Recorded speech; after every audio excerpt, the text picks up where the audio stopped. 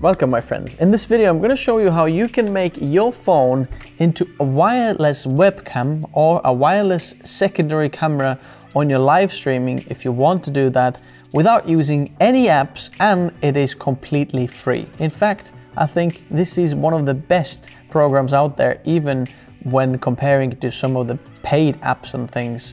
I think this works better. So what this thing is called is OBS Ninja. So it's some Ninja services. So let me quickly tell you how this works. So it's basically like a browser-based uh, program that kind of connects wirelessly to your phone camera and audio. So you can get audio through that as well.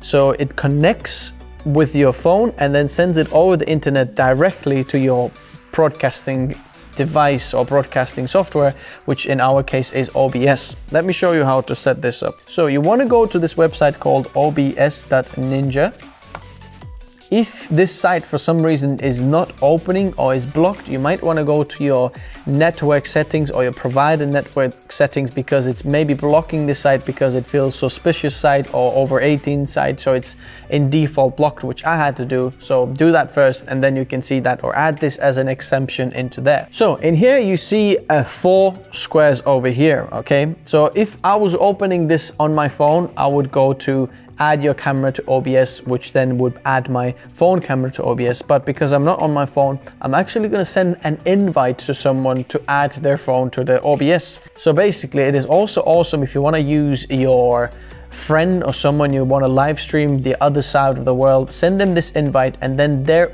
camera or their phone connects directly to your live streaming software and you can that, do that that way. So let's create a reusable link. We're gonna make this tech notice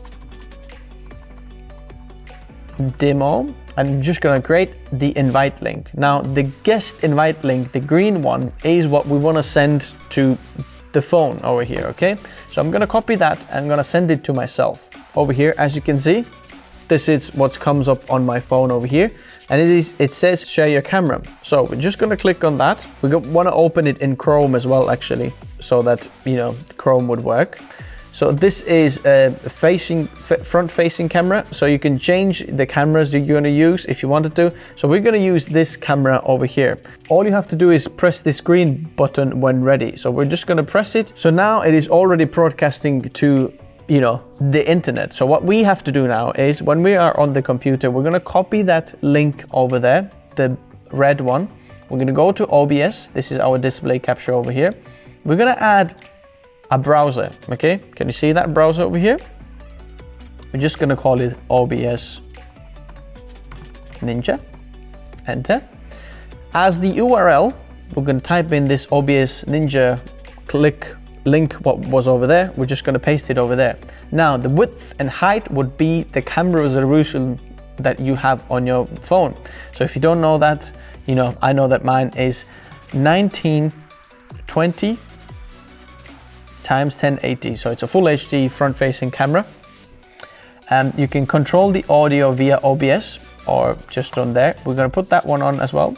And then uh, refresh the browser when the scene becomes active. So we're gonna do that. And as you can see over here, voila! We have a camera that is connected to my OBS over here. Can you see that? Hmm? How cool is that? So now, as you can see over here, the latency is very, very good as well as the audio. You can see I'm already recording audio over here and when I'm playing it back, I can show you the audio over there. So you can see the delay, what the delay would be, you know, but it's very, very good. You can easily add this as your secondary cam.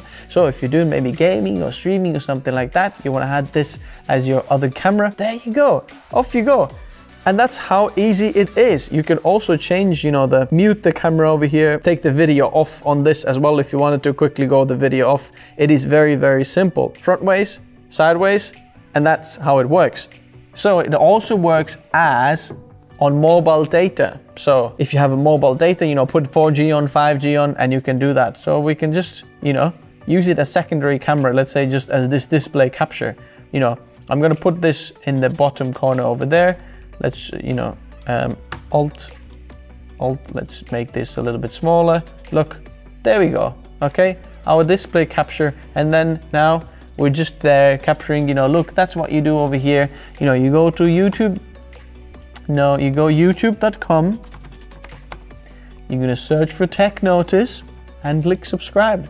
Ah, we're already subscribed because I'm logged in onto my channel. Everything like that. That is how this would work. Now, and this is absolutely amazing how easily you can add this over there. Let me know guys what you think. I absolutely love this. Hope this was helpful for you. Now hit that like button if you enjoyed this video or found it helpful. Subscribe if you haven't already.